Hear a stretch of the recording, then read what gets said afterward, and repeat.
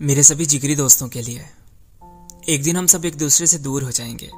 हम मिस करेंगे ये बेमतलब की बातें मतलब की बातें और हर रोज की बातें। साल, महीने, वक्त गुजर जाएगा और हमारा कांटेक्ट लगभग खत्म हो जाएगा। फिर एक दिन हम सबके बच्चे हमारी तस्वीरों को देखेंगे और पूछेंगे, ये सब कौन है?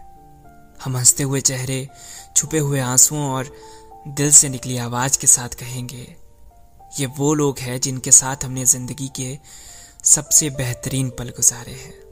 और ये सच में होगा यार। आज बेशक ये बात हम यूँ ही रफा दफ़ा कर दें, लेकिन वो हम सब याद करेंगे।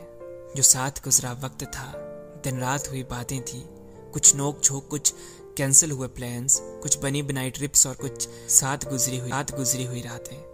हम सबको एक एक दोस्त याद आएगा।